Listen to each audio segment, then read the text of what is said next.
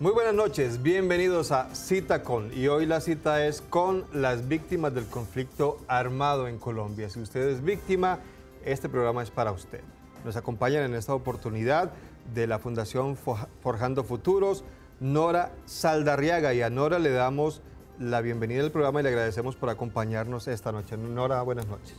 Buenas noches Germán y muchas gracias. Espero que esta noche podamos despejar las dudas de las víctimas del conflicto. Por supuesto, y también por la Unidad para las Víctimas de Antioquia, su director Jorge Mario Alzata, a quien también le agradecemos por acompañarnos en esta oportunidad. Muchas gracias Germán, un saludo a Nora, a todos nuestros televidentes, víctimas del conflicto, en todos los municipios de Antioquia y del país donde nos estén viendo. Es un programa para todos ustedes y con el mayor gusto esperamos pues aclarar muchas de las inquietudes.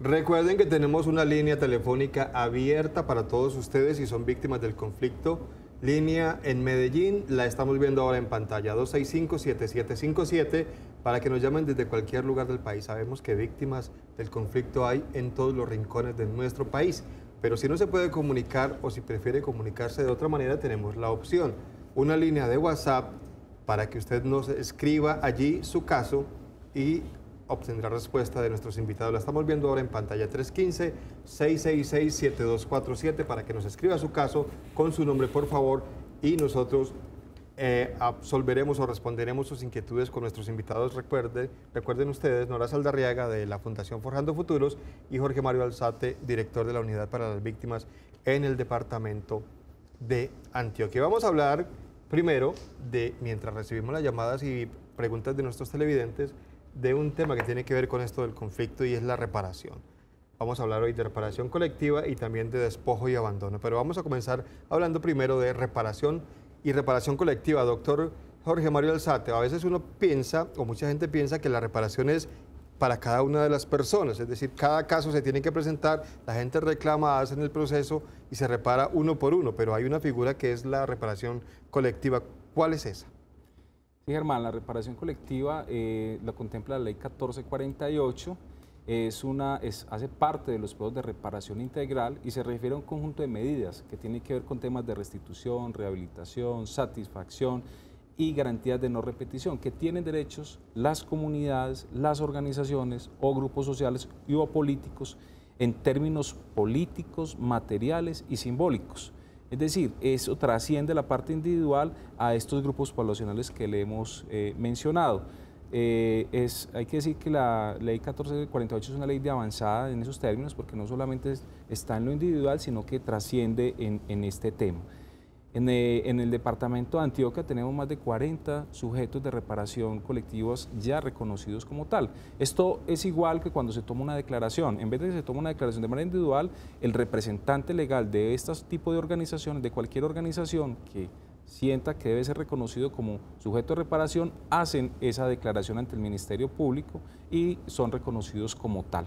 Eso es parte, digamos, del proceso de la reparación colectiva. Cuando usted habla de sujetos, para que le quede claro a los televidentes, no se está hablando de personas, sino de grupos de la, de la comunidad, que son esos 40 sujetos que usted dice, comunidades organizadas, grupos étnicos, es decir, son muchos los que hay en el departamento de Antioquia que son sujetos. Sí, por ejemplo, nosotros ayer estuvimos, eh, en Germán, estuvimos en La Ceja, yo no sé si todos lo recuerdan nuestros televidentes, estuvimos en el corregimiento San José, y allá había también otra organización que llamaba Sofrutas. ¿sí? En época del año 2000 hubo presencia muy fuerte de los paramilitares en la zona.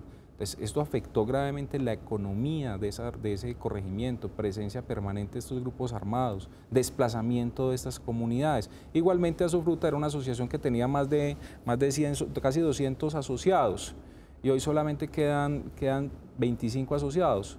Entonces, por todas esas afectaciones por el conflicto, se eh, afectaron como organización, porque dejaron de comercializar, porque dejaron de vender esos productos que tenían, tuvieron que abandonar sus cultivos. Igualmente, como corregimiento fue afectada la Junta de Acción Comunal. Entonces, ayer, por ejemplo, hicimos el proceso de notificación como sujetos de reparación colectiva. Ya que viene, viene eh, a hacer todo lo que se llama una fase de alistamiento, eh, vamos a hacer ya el plan, vamos a hacer toda la fase diagnóstica y ya un plan de reparación que contiene precisamente ese tipo de medidas de restitución, de indemnización, de rehabilitación, satisfacción. Eso es un, digamos, hay todos unos procedimientos. De hecho, también hay otros casos, por ejemplo, sujetos que nosotros llamamos de tipo nacional, Por ejemplo, ahí está el gremio de, los eh, periodistas que también fueron afectados por el conflicto armado, tenemos sindicalistas, tenemos también eh, organizaciones de derechos humanos, como está el Instituto eh, Popular de Capacitación, el IPC, que está reconocido como sujeto de reparación colectiva. Otra, por ejemplo, Red de Paz, entonces, esto... La Comunidad de Paz de... Eh, eh, no, Red Paz es otra organización. No, no, digo yo que también la Comunidad de, Paz de no, San José esa, yo creo que no, ha declarado como un sujeto de reparación colectiva. Entonces, ahí no es que cada uno reciba individualmente, no, lo individual se aborda, es el grupo. Entonces, eh, por ejemplo, hombre, nosotros, otro caso, San Carlos, en San Carlos, en su plan de reparación colectiva estaba la vía Granada-San Carlos. El municipio como municipio. Entonces, ahí eh, nosotros entramos todo un acompañamiento institucional, no solamente es una competencia directa de la unidad, entramos varias entidades a apoyar ese plan de reparación. Y de hecho es muy participativo. Ellos conforman un comité de impulso, donde hay representantes y, en fin, eso, de esa manera se trabaja. Muy bien, vamos a seguir hablando de ese tema un poco más adelante porque ya tenemos llamada de Luz Elena Buritica desde el municipio de Bello. Buenas noches, doña Luz Elena. Buenas noches. Bienvenida al programa. Eh, muchas gracias, felicitaciones por ese programa tan especial. Muchas gracias. Oiga, amigo, lo que pasa es que yo tengo un cáncer. Yo soy discapacitada 51.5 de los pies. No puedo caminar así sola por ahí. Y entonces a mí, yo llamé no tuve. Y uno de los doctores que me atendió me llamó al otro día y me dijo, vaya que le hagan una nueva calificación a la EPS y fui y no me la hicieron, no me la quieren hacer así, sino que tengo que ir a la Universidad de Antioquia a pagar es que tres salarios mínimos para que me la puedan hacer o pedirla particular y particular no me sirve. Y entonces pero pagando um, es que salarios mínimos. Y que fuera y que consiguiera eso para que me dieran me vieran pues que y se me descubren más enfermedades que tengo después de la discapacidad que me dieron y no ha sido posible porque yo no soy capaz, yo estoy, yo no puedo caminar y yo tengo 68 años. Doña Luz Elena, muchas gracias. Bueno, Germán, aquí me dan el dato de la señora Luz Elena. Me dicen que es un homicidio el que ella declaró de uno de sus hijos. Eh, a ella ya se le dio eh, la compensación económica y ahora falta que se le dé al padre de su hijo, eh, que ya también pues está dentro del proceso de reparación, o sea que doña Luz Elena, como ella también lo hizo bajo un decreto, que es el decreto 1290, pues está dentro de las prioridades o de las personas víctimas priorizadas para hacer la indemnización económica y la reparación como tal. Hay una, recomendación para ella muy importante que acerque también a la personería, a la Procura de Defensoría, porque ellos interponen acciones, especialmente en temas de salud, cuando no les facilitan esos certificados, cuando hay dificultades, porque tiene ese derecho. Obviamente es, evidente la vulnerabilidad que tiene la señora y la afectación. Muy bien, los invitamos a seguir marcando la línea telefónica 265-7757 en Medellín desde cualquier lugar del país, línea que vemos ahora en pantalla, o pueden seguir también escribiéndonos a la línea de WhatsApp sus casos para que obtengan respuesta de nuestros invitados esta noche. Si quiere saber cómo va su proceso, si usted es víctima del conflicto armado, comuníquese con nosotros. Recuerdo la línea de WhatsApp 315-666-7247. Pausa y regresamos.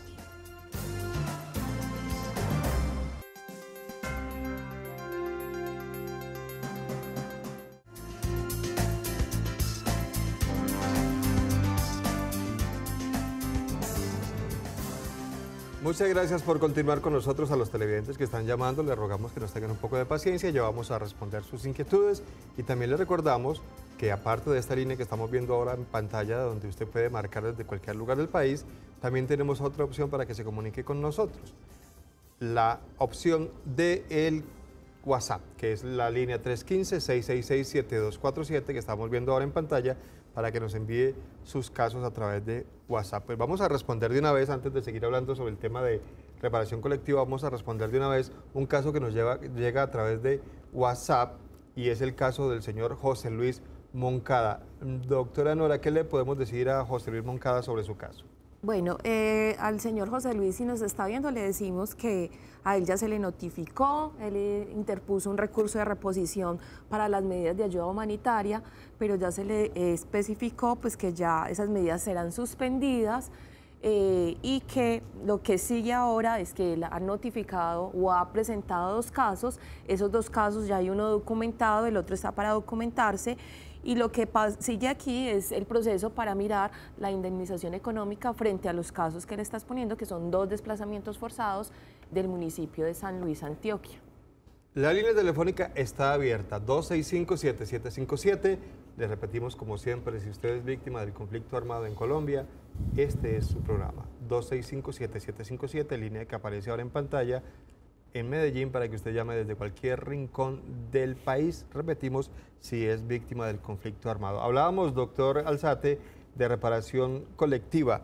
¿Qué situaciones generan ese tipo de reparaciones? Que, hayan sido víctimas estos grupos, ¿de qué tipo de acciones?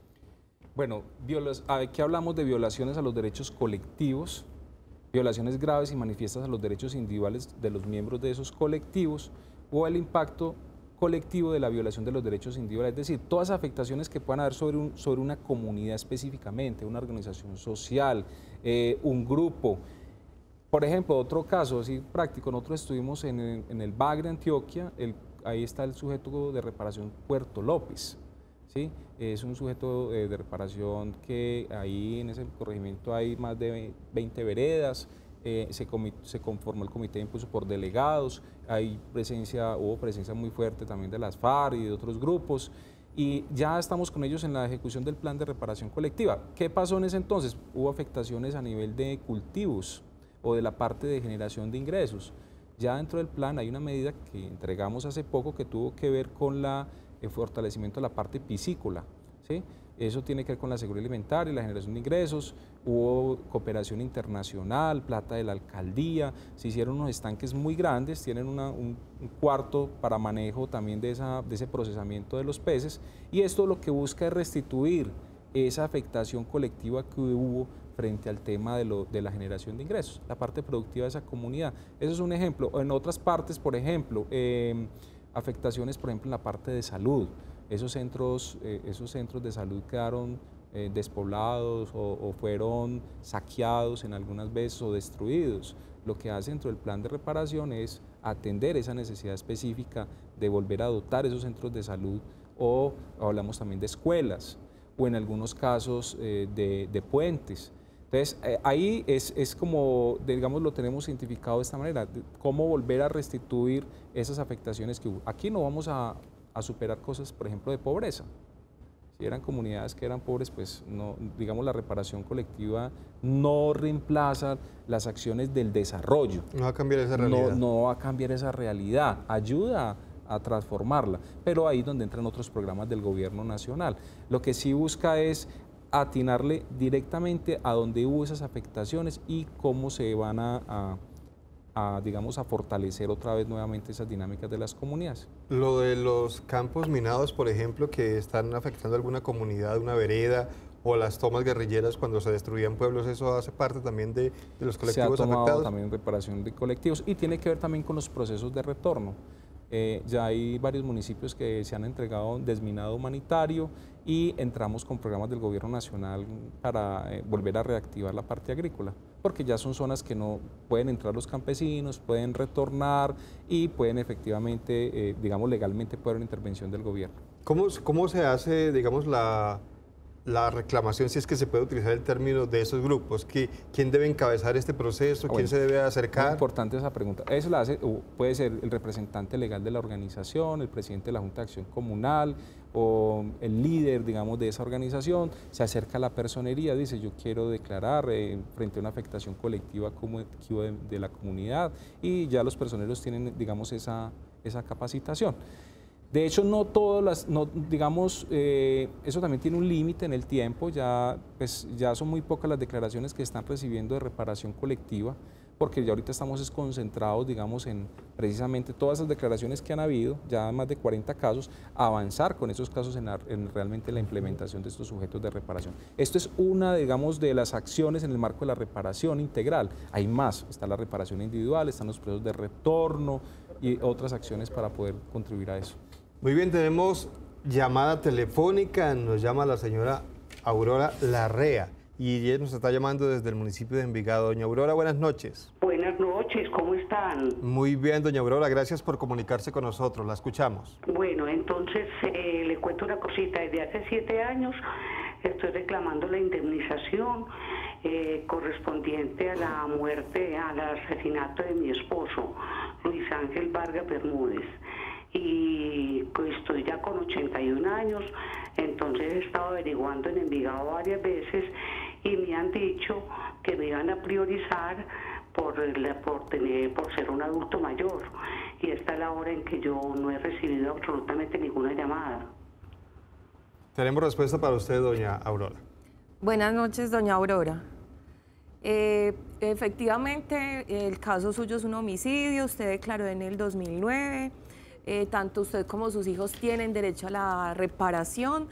Eh, en este momento su caso se encuentra en proceso de documentación, por lo cual le sugerimos que nuevamente acuda a la personería o al centro de atención y o a los enlaces municipales donde le brindarán información de qué debe hacer para que su caso, como usted misma lo dice, sea priorizado por la edad que usted tiene y porque es importante decirlo también aquí, usted lo declaró bajo de un decreto que fue el decreto 1290 que cobijaba la ley 975 y por lo cual pues estas personas que declararon en ese momento pues hoy están siendo priorizadas por la unidad de atención a las víctimas para ser reparadas eh, e indemnizadas eh, frente al daño que pudo haber ocasionado. Nosotros eh, queremos reforzar la Envigado es un municipio muy organizado. Envigado tiene un punto de atención a víctimas, tiene un equipo desde la alcaldía, entonces allá hay un punto de la unidad también que puedes estar yendo a consultar.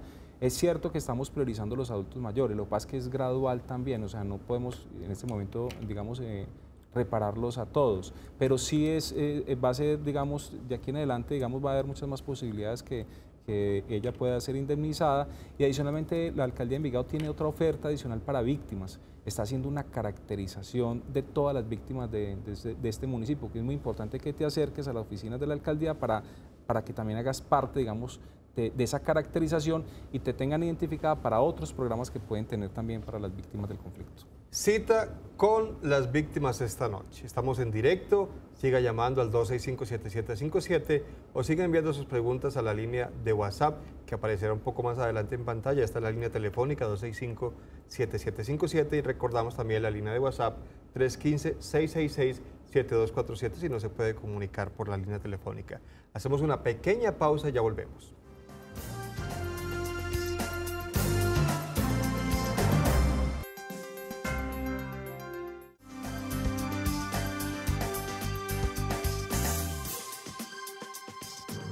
Muchas gracias por continuar con nosotros. La cita con las víctimas esta noche con nuestros invitados Nora Saldarriaga de la Fundación Forjando Futuros y de la Unidad para las Víctimas de Antioquia, el doctor Jorge Mario Alzate. Y antes de seguir hablando de otros temas como el despojo y el abandono, pues tenemos más inquietudes de nuestros televidentes. Nos envía un caso la señora Marta Lucía Velázquez desde la ciudad de Cali. Saludos a los televidentes en el Valle del Cauca ¿Qué le podemos responder a doña Marta Lucía Velázquez? Doña Marta Lucía, desde Cali, muchas gracias por escribirnos desde Cali. Está reconocida como víctima del conflicto armado en el marco del decreto 1290 por el homicidio de dos hermanos. Eso en el marco del decreto 1290. Ahorita en el marco de la ley 1448 no se reconocen como tal los hermanos. También eh, nos reportan que fue, este, digamos, reparada, indemnizada en el año 2014. Recibiste el recurso. Ahora, no solamente la parte económica, también tienes derecho a atención psicosocial y a otras, eh, digamos, a otros programas. Es muy importante que te acerques, digamos, al punto de atención en Cali. Eh, por lo que es de la unidad, ya ha accedido a la medida de indemnización. Muy bien, muchas gracias a doña Marta Lucía desde Cali. Pregunta para la doctora Nora Saldarriaga, ¿qué es despojo y qué es abandono? Sí, Germán, la gente tiende a confundir esos dos conceptos pues, y son diferentes. Una cosa es el despojo y otra cosa es el abandono forzado de las tierras. Eh, las personas que eh, en el medio del conflicto tuvieron que abandonar el territorio, lo hicieron por el desplazamiento, ¿cierto? Había una situación de violencia generalizada en ese territorio, entonces tuvieron que irse de ahí para salvaguardar sus vidas. En el caso del despojo, lo que ocurrió fue que en medio de esa violencia habían grupos ilegales, ¿cierto?, que eh, ejercieron una presión sobre los campesinos y los obligaron o a vender sus tierras, o hacer, o a hacer tratos que no eran legales, a firmar documentos que no estaban legalmente constituidos. Y allí se constituye entonces el despojo material de las tierras a los campesinos en todo el departamento de Antioquia, para el caso pues de Antioquia o en el país en general, porque esto es una situación que se dio en todo el país. Entonces la gente es obligada a salir, pero no necesariamente se apoderan de las tierras, sino que los desplazan. Y los otros es, me voy a quedar con su tierra, con su finca, o los asesinaban ahí porque ¿sabes? conocen casos o los obligaban a salir e, en un término determinado. Sí, sí, así es eh, la situación. Muy bien, vamos a hablar ahora de qué situaciones o cuáles son las acciones para la restitución en este caso de los despojados. Bueno, entonces cuando las personas llegan hasta eh, la unidad eh, de restitución de tierras, hacen su, su solicitud, pues allí se empieza un proceso de, documentar el caso. Una vez se documentan esos casos, se inscribe ante eh, el registro único de tierras y ya allí se empieza a hacer el procedimiento eh, judicial, o sea, se pasa de la etapa administrativa a la judicial, en donde ¿qué se hace? El juez o el magistrado define si el predio que está siendo solicitado puede ser o no restituido a la víctima. Entonces se hace la entrega material del bien, que es una de las partes de las acciones que se consiguen a través de este mecanismo, y se hace eh, la entrega jurídica, que consiste precisamente en que si este era un, predio privado que tenía una escritura, esa escritura pueda ser registrada, porque en Colombia todo predio tiene que ser registrado ante la Oficina de Instrumentos Públicos para tener el carácter legal. Entonces se hacen los dos mecanismos, una es la, recibir el predio como tal, que esa es la entrega material, y hacer la parte jurídica que consiste en hacer el registro del predio para que efectivamente las personas que están haciendo la reclamación eh, queden eh, como los propietarios de ese predio. Tenemos llamada de doña Maritza Rojas desde aquí de Medellín. Doña Maritza, buenas noches. Muy buenas noches para todo el panel. ¿Cómo está usted? Muy bien, muy amable, gracias. La escuchamos, doña Maritza. Eh, bueno, mi, mi, inquietud, más que todo yo declaré en el 2009 la muerte, el asesinato de mi madre. Ella murió en, el, en 1991. ¿Cierto? Siempre me, me, me dirijo a la GUAU. Eh, me han puesto todas las trabas pues que, que han encontrado. Eh, me dijeron que tenía que registrarla. Ella, ella se ceduló, fue con partida de bautismo. Me dijeron que tenía que registrarla y luego me dijeron, la verdad no sé si sea cierto y quiero eh, que por favor me ayuden con esto, eh, que es que yo estaba en una plataforma donde, donde en esa plataforma no pasaba nada y que debían de cambiarme a otra plataforma para la indemnización. Eh, esa es pues como mi pregunta. Ya he hecho pues como tres derechos de petición. Yo sé que la ley, la ley dice que es hasta el 2021 que tiene el Estado para, para indemnizarnos, para repararnos como víctimas. Eh, pero siempre la misma respuesta. Muchas gracias. Tenemos respuesta para usted, doña Maritza. Doña Maritza, eh, gracias por su llamada y por pues, pues, pues, su paciencia. Cuando tú dices la UAU, eh, para que los televidentes nos escuchen, son las oficinas de atención y orientación, ya han cambiado, se llaman centros de atención a víctimas. está reconocida como víctima del conflicto armado en el marco del decreto 1290. tienen derecho los hijos, en este caso pues tú, y eh, está pendiente de documentar el caso. Sí hay unos procedimientos y unos certificados que deben de tener y es clave el de, eh, digamos, el de registraduría. Si tengo una partida de autismo debe estar registrado oficialmente. Pero por eso les vamos a dar toda la orientación, digamos, pertinente, tomamos tus datos y obviamente estos casos que ya son de, marco el decreto de 1290 tienen, digamos, también esa prioridad en términos de atención. Muy bien, se nos acaba el tiempo, pero recuerden que, ah, bueno, parece que tenemos aquí bueno, no tenemos más, casos, pero los seguimos invitando a todos ustedes a que marquen o que escriban a la línea 315-666-7247, línea de WhatsApp, para que nos sigan enviando sus casos, que tendrán respuesta en el próximo programa. Los martes estamos en los últimos minutos del programa Nos Cogió la Noche, que recuerden ustedes va de 5 a 6 y 45. Los últimos minutos son para este tema de las víctimas. Y los miércoles el programa es un poco más extenso, hasta de las 7 y 30 hasta las 8 de la noche, para que ustedes llamen desde cualquier lugar del país o para que escriban sus casos a la línea de WhatsApp. Bueno, parece que tenemos aquí un caso rápidamente. Doña Marta Irene Arboleda es desde WhatsApp. Jorge, rápido con la información. Doña Marta, desde el municipio de Toledo, eh, tiene que ver con un caso de desplazamiento forzado, está eh, reconocida y entiendo que ya, eh, ya superó pues, la situación de vulnerabilidad. Ya seguiría pues, la ruta frente al tema de la reparación, el tema de indemnización. Obviamente también hay que asesorarla frente a si está en un proceso de retornos o de reubicación. Ya no estaríamos, fue un caso de las FARC, también nos está mencionando, un caso de las FARC en esa zona. Y bueno, ya tendremos sus datos también para darle más información al respecto a ella. Gracias a doña Marta Irene por escribirnos también y muchas gracias a todos ustedes por acompañarnos como siempre aquí en Citacón. Nora Saldarriega de la Fundación Forjando Futuro, gracias por acompañarnos. Gracias a ustedes. Y Jorge Mario Alzate, director de la Unidad para las Víctimas de Antioquia, también le agradecemos su presencia. Muchas gracias, lo esperamos dentro de ocho días. Que tengan una feliz noche.